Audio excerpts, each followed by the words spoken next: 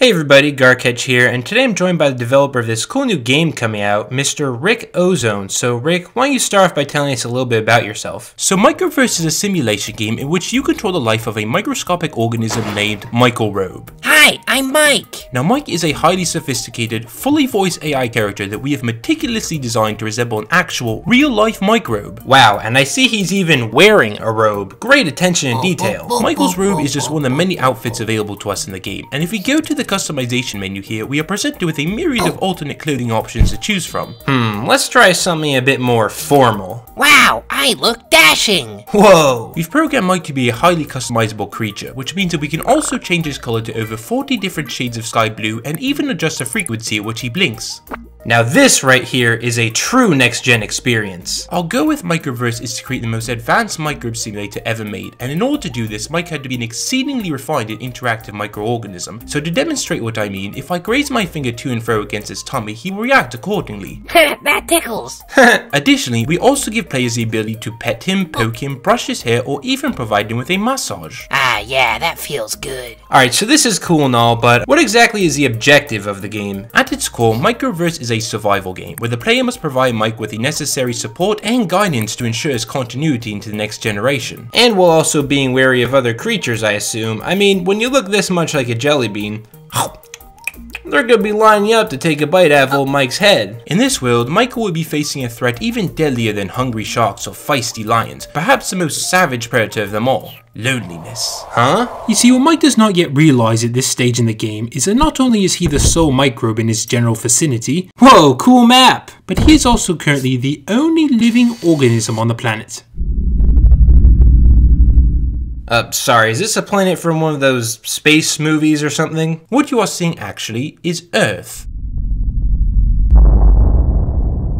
4.2 billion years ago. What? And Mike is the first person to call this place home. Oh, well, for someone completely alone in the world, he seems to be doing alright. Speaking of which, let's go back down and see what he's up to. What do you say?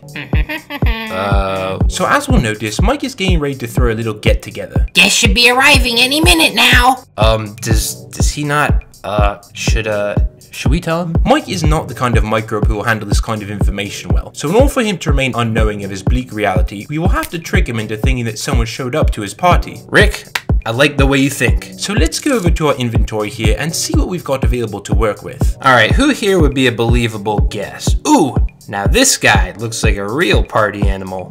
Ow! If we are to properly fool Mike, we will require a much more believable looking attendant, one who is fully capable of partying. So let's open the crafting menu here and equip this vertebrae with a torso, some arms, and we'll need a pair of legs for dancing of course.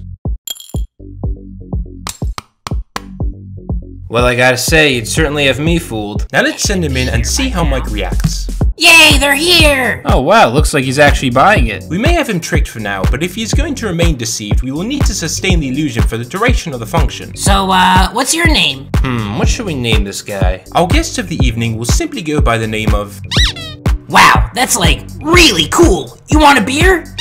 Cool, I'll be right back. Here you go. Now in order to grip Mike's offering, we have to use the The circle here, right? Just move my finger on it. There we go. Alright, let's just take a sip. Ah, crud. Not much of a drinker, huh? That's okay. I don't really drink much either. Mainly because I don't really have anybody to drink with. Uh, You see, there's not a lot of people around my area. In fact, there's nobody at all now that I think of it. Except you, that is. But it's weird, I've never seen you around here before. And the way you talk, something feels a bit off about it. Almost like you're not a real microbe. I think he's starting to catch on. Now when Mike begins to question the realism of our guest, we will need to quickly divert his attention away from this. And seeing as that we are in a party setting, a prime way to distract him is by dancing. Whoa! okay, Rick, okay.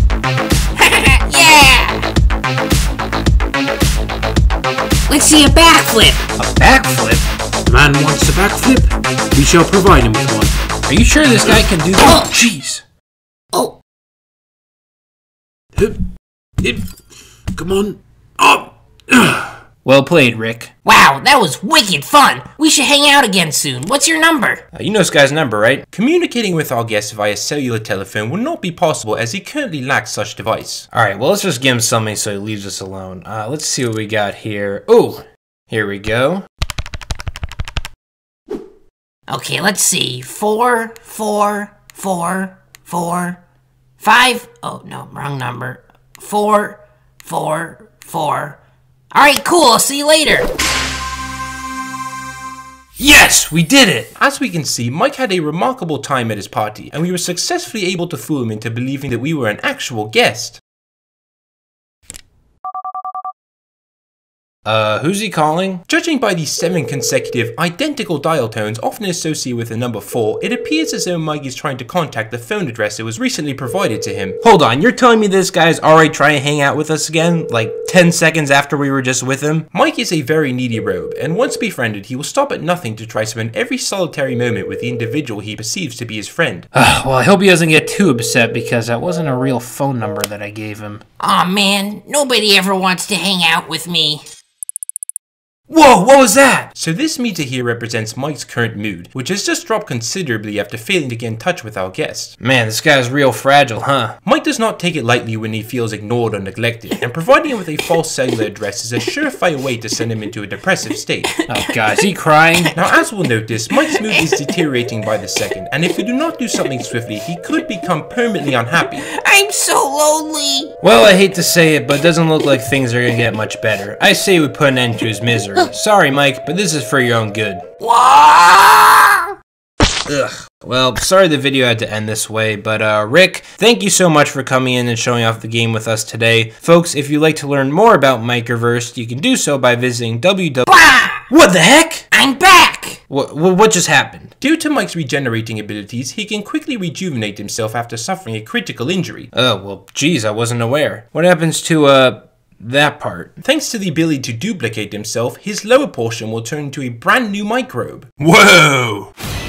Ah, great. Who's this guy? Meet Brandon Robe, the second ever living being in existence. Ah, great. There's another one now? And as we can foresee, Mike will undoubtedly be overjoyed by the advent of our unshaven, mint green, elliptically shaped fellow here. Hi, I'm Mike. What's your name? Hey, what's up, man? I'm Brandon. Want to be friends? Uh, yeah, sure, dude. Yay! So, does this mean I win the game? With the introduction of Mr. Brandon, the goal of Microbe-Verse now is to maintain a positive and healthy relationship between the two, as the fate of all future life forms is dependent on them getting along. Seems that they like each other so far. While they may be enjoying each other's company as of now, their personalities differ quite greatly, and over time we will see they do not mix well for two individuals living together. Well, until that time comes, I say we just enjoy this moment right here where they actually seem happy together. So to show you what I mean, let's use the fast forward feature here to skip ahead one month from now and see how their relationship has deteriorated over time. Ah, come on, man.